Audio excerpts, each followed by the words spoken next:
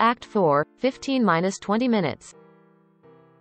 Their first glimpse of the island fills Steve with exhilaration, but soon, dark forces emerge to challenge their dreams. As they set foot on the island, they are attacked by a group of monstrous creatures that seem to be guarding the hidden treasure.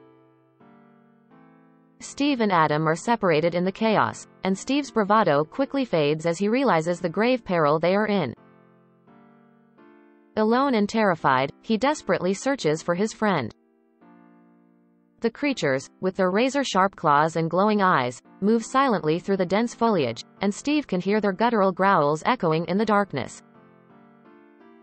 Fear courses through his veins, and every step he takes feels like a potential death trap. He pushes forward, his heart pounding, calling out for Adam in the hope that they haven't been taken too far apart. Suddenly, Steve catches a glimpse of movement in the corner of his eye.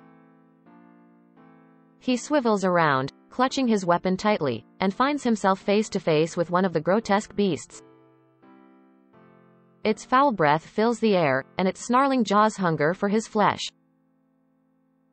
Steve's survival instincts kick in, and with a surge of adrenaline, he raises his weapon and strikes the creature with all his might. The fight is intense and ferocious. Steve's body moves on instinct, ducking and weaving, each strike precise and calculated. With every creature he defeats, more seem to rush in to take its place. Their numbers are overwhelming, and Steve finds himself surrounded. Panic threatens to consume him, but he knows he must keep fighting, for his life and for Adam's. Just when it seems all hope is lost, a voice echoes through the chaos, startling both Steve and his attackers. Over here. The voice belongs to Adam, who miraculously fought his way through the creatures to find Steve. Bloodied and bruised, Adam stands by his side, ready to face whatever comes their way. Together, the friends wage a valiant battle against the monstrous guardians of the island. Their movements are synchronized, their trust unwavering. Each swing of their weapons is fueled by determination and a fierce loyalty that transcends any fear they may feel. The fight stretches on, seemingly endless, but their resolve never wavers.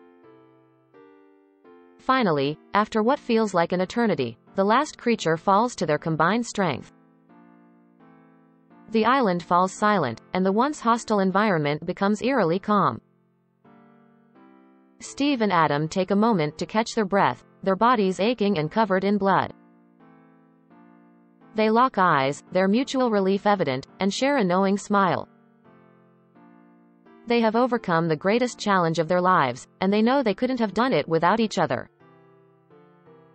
With the immediate danger defeated, Steve and Adam collect their belongings and regroup. They know their escape is not yet assured, but in that moment, they revel in their victory.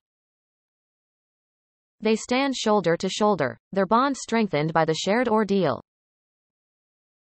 As they prepare to face whatever lies ahead, they know that their friendship, forged through the crucible of adventure, will carry them through to the end.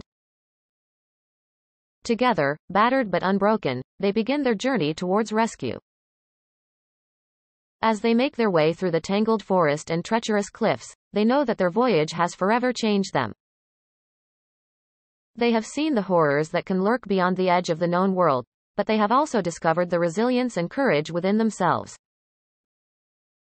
And as they sail back to civilization, they realize that true adventure lies not in the pursuit of fame, but in the profound moments of survival and friendship they experienced on that faraway island.